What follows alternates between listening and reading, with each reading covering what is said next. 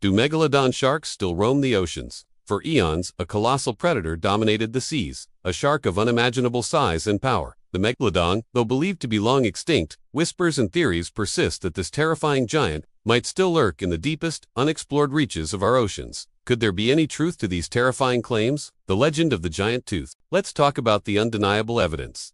Massive fossilized teeth, some larger than human hands, have been found across the globe.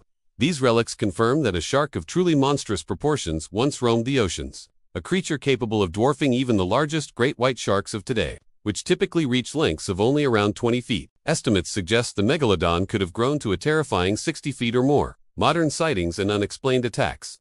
Now for the unsettling part. Despite the scientific consensus on its extinction, anecdotal evidence and unconfirmed reports fueled the idea of its survival. Fishermen have told tales of colossal shadows beneath their boats and inexplicable damage to their vessels. There are also theories linking unusually large bite marks on whales to a predator far bigger than any currently known. Could these be whispers of the megalodon's continued existence?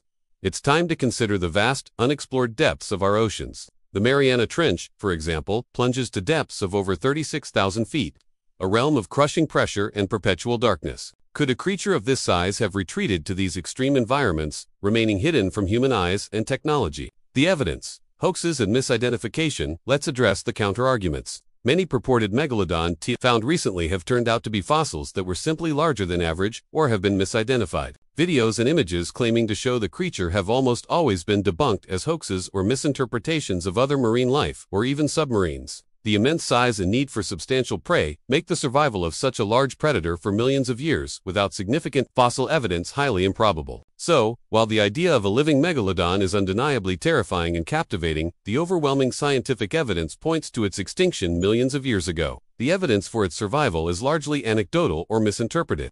Though the deep ocean holds many secrets, the chances of this prehistoric giant still roaming its waters are, unfortunately, extremely slim.